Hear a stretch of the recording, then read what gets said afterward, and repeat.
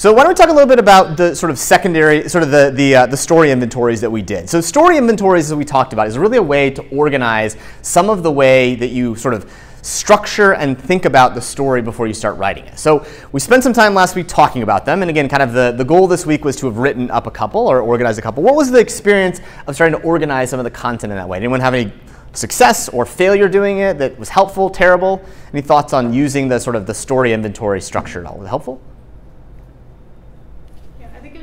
helpful? For me to finally start to put some thoughts down, and I think it'll be much easier to write the stories out of what I've written because I've already done like the preliminary research. Mm-hmm. Yeah, and uh, just to that point, the reason that I think doing story inventories is so helpful is because it sort of reduces the enormity of the entire project too. So the work that you've done, nearly every word that you've written in this inventory is likely to go into the story.